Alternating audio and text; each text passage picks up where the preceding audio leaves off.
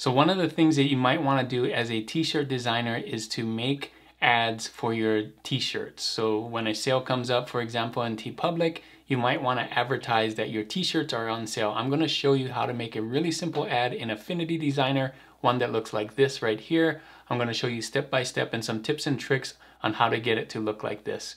You don't want to miss this. Let's go.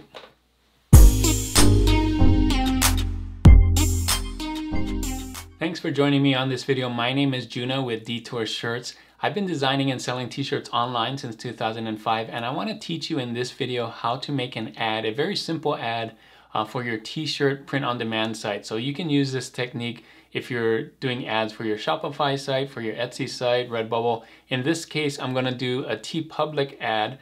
Uh, TeePublic has a sale right now uh, for Memorial Day. When you're watching this video, it might not be up right now, but we're gonna take advantage of some of the things that are on TeePublic right now for the ad and I'm going to show you how to do that in Affinity Designer. I'm going to show you some tips and tricks that I use as a graphic designer to make an ad, show you what size it should be and how to post it on different sites. So the first thing I'm going to do is go to TeePublic and I'm going to show you how to get all the information we need from there and then go into Affinity Designer. So let's get into TeePublic right now.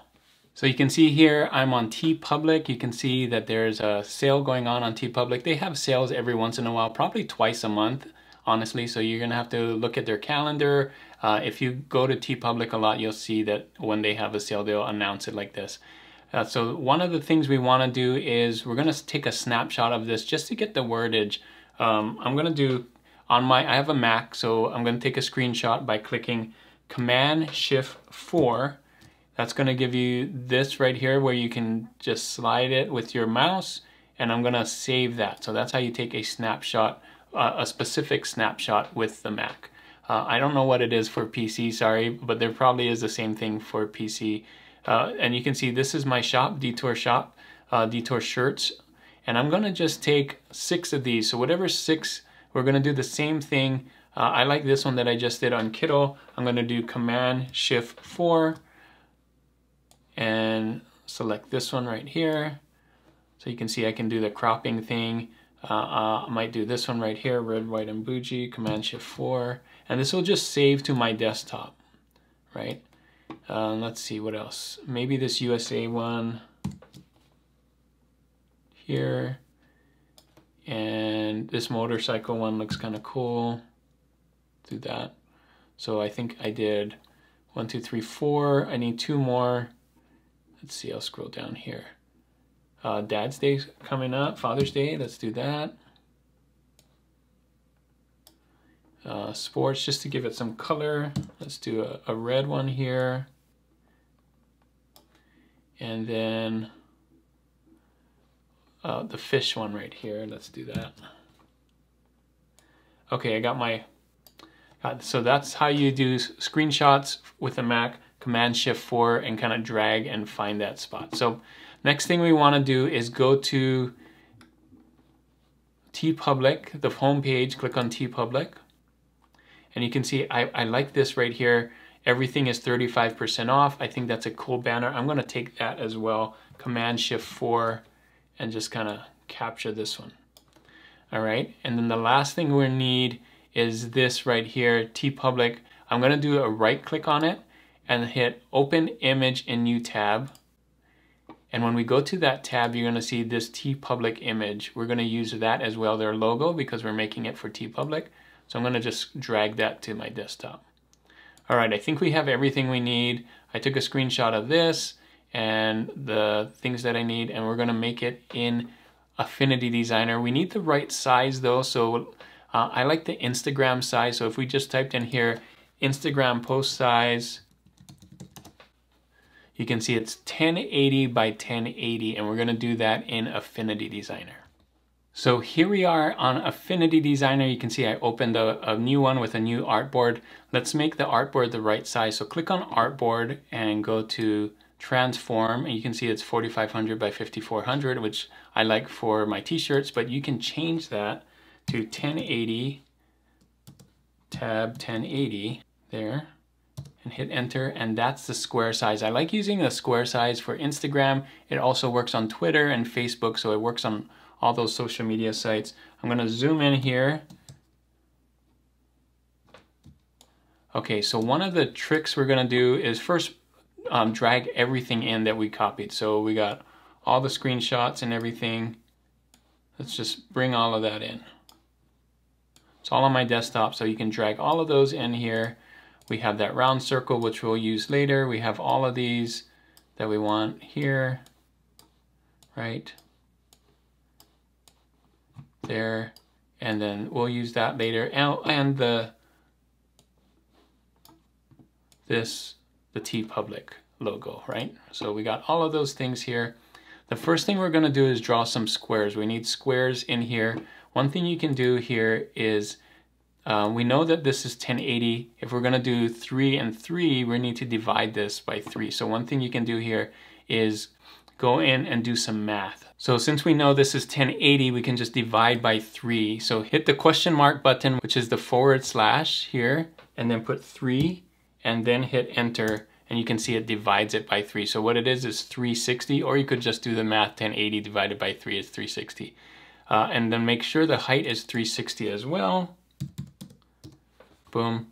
And then we're just going to copy this, hold down, click on it, hold down Option and Shift, and drag, and Option, Shift, and drag. Now to make sure that it's all the way to the edge, you can click on these here to the edge, Make sure this is to the edge and this one's in the middle, right there. And color this a different color. Don't have an outline on it. You just want it uh, without the outline. So let's take the outlines off. And then what we're gonna do is copy this and go down like that, just have it touch. Um, and then let's make these the red ones.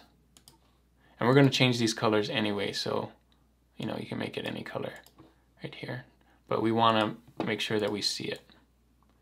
All right, so that's what we're gonna start with. The next thing we're gonna do is put these inside of it. So we'll put these here. Uh, let's see, kind of space them out. Maybe we want a white one here, a white one here.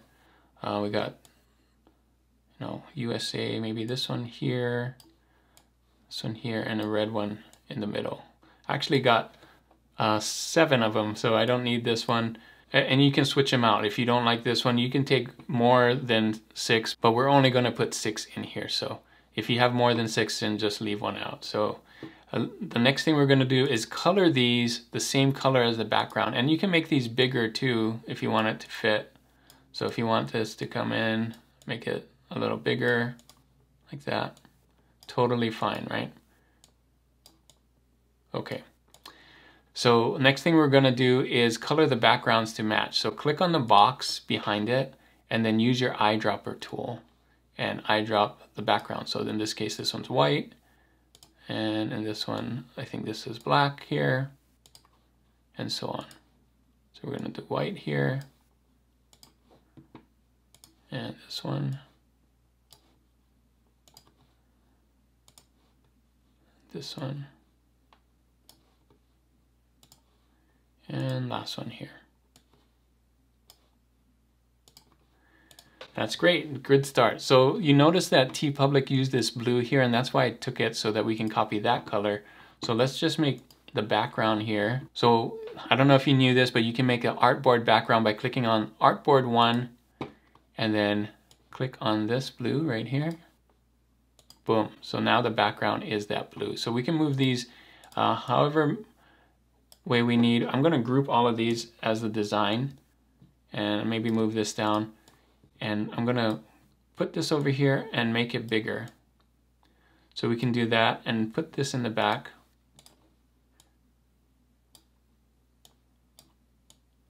Up to 35% off sale, $14 tees and more. Perfect. And if we want to center it, you know, we can center it like that. Okay, the next thing we can do is put TeePublic right here Oh, and we forgot this. Everything 35% off. I want it here, but bigger. Something like that. But I want it just with the circle. So this is a trick that you can do by masking this out. Let's do the circle. Uh, I clicked on the circle tool here and hold down shift to make sure that it's the right size. You want it just about the right height as the circle. You can see right there. Now we can zoom in to just make sure that it's the right thing. So Let's make it here, like that, and there, and make sure that it doesn't have a fill, and then move it so that's right about where we need it. And you can come in a little bit too, just so it doesn't, uh, make sure that it cuts off right there. Okay, so select both of these like that and make sure that they're at the top. So click here, move to front and go to our layers panel and you can see both of them right there. Click on the object and drag it into the ellipse and in. So like that and you can see it masked it out. So now we can put this wherever we want. If we want to put it right there, make it smaller or just move it up. You can do it like that. Now we can do this. The font that TeePublic uses is Futura. So you may have Futura, you may not. I have it, so I'm going to use it here. So I'm going to click on uh, the artistic tool, the text tool, and I'm just going to type the word sale, all caps. TeePublic loves to use all caps. And I'm going to go here and type in Futura, there it is, and go to bold, and there you go. TeePublic sale, you can see. I'll make it the same size here. And maybe put some exclamation points on it. Great. And let's make that the same color as this yellow down here so we can copy it right here. Perfect.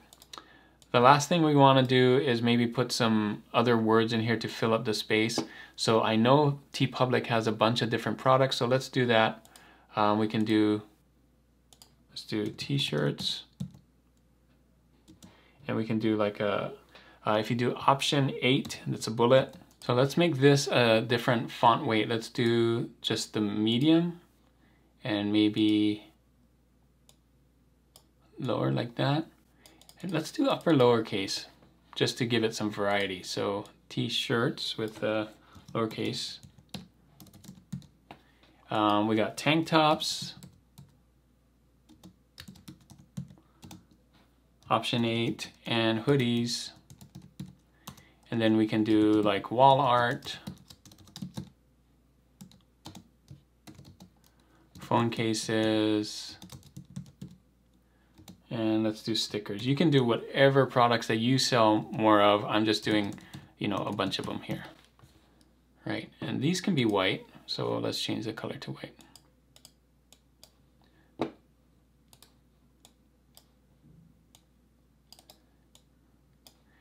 Now, one of the things you may want to do is just retype this. If I scroll in, you can see that this is pixelated right there.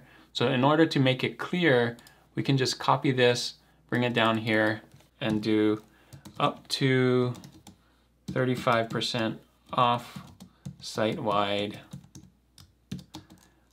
$14 tees and more right that's straight from their website and the nice thing about doing that is well first of all we can change it to bold and then we can change the color again to that um, yellow right here. Boom. And we can make it a little smaller so it fits.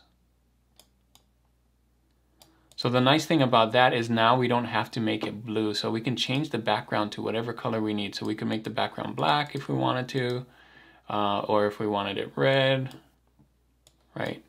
Like that. So whatever we want, or even this blue right here, if we want to do it like that we could, but that, that doesn't stand out. So I, I kind of like the black actually.